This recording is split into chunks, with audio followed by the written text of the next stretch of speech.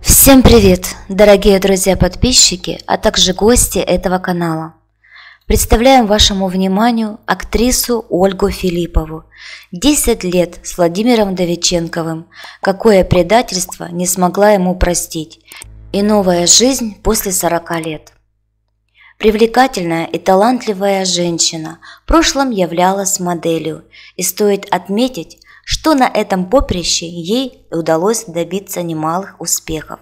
После такого опыта Ольга переквалифицировалась в актрису. В ее кинокопилке огромное количество ролей, причем в самых разных проектах. И неудивительно, что она исполняла и положительные, и отрицательные роли, так как привыкла экспериментировать. Ольга появилась на свет зимой 1977 года. Ее семья проживала под Москвой, где папа работал курьером, а мама – бухгалтером.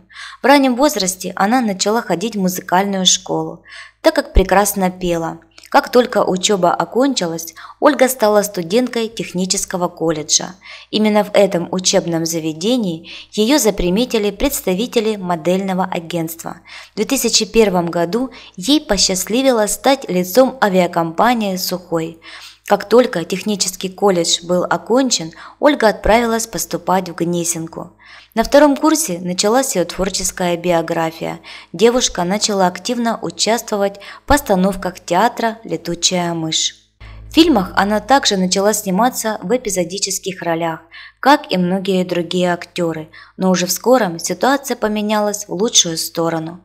Первая главная роль – драматическая картина «Кармен». Небольшая роль девушки досталась в «Солдатах», Популярность пришла к Филипповой после съемок многосерийного проекта «Райские яблочки». 2015 год принес роль в проекте «Истребители. Последний бой». Далее она снялась в картине «Все к лучшему». Талантливая актриса участвовала в третьем сезоне сериала «Пять минут тишины. Новые горизонты». Также главная роль была в фильме «Кошкин дом». В 2021 году Ольга снова сыграла в продолжении «Пять минут тишины. Симбирские морозы». В молодости Ольги частенько случались романы, только ничего из этого не привело к чему-то серьезному. На протяжении длительного времени многие думали, что у нее отношения с актером Владимиром Давиченковым. Вскоре стало ясно, что молодые люди действительно встречаются и даже живут вместе. В 2005 году актриса родила дочь.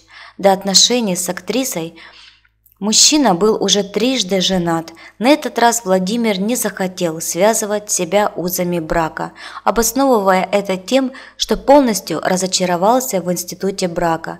Ольга, в свою очередь, приняла желание любимого и не настаивала на штампе в паспорте.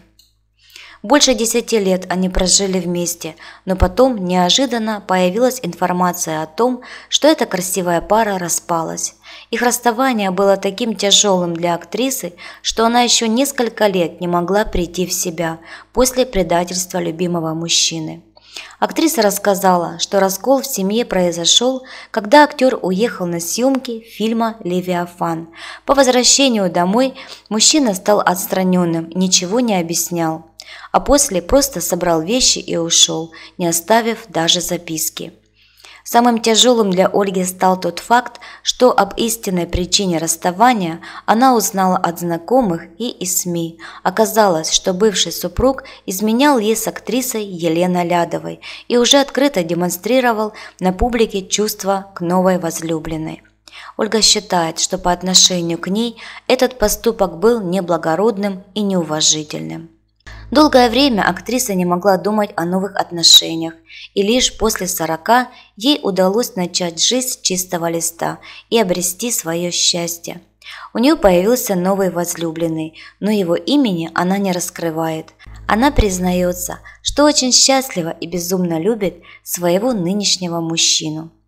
Ольга привыкла ставить на первое место семью, но несмотря на этот факт, Последнее время она активным образом начала сниматься в проектах. В 2022 году ее можно было увидеть в сериале «Кукольник». Также сейчас актриса снимается в продолжении сериала «Пять минут тишины. Море и горы». Спасибо всем огромное за внимание. Пишите свое мнение в комментариях, что вы думаете по поводу этой актрисы и ее жизненной ситуации. Думаю, многие женщины ее поймут.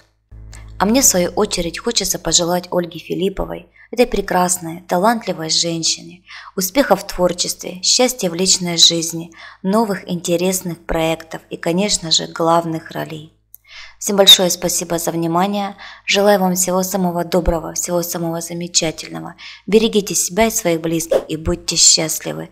Всем удачи, Божьего благословения. До новых встреч и всем пока-пока.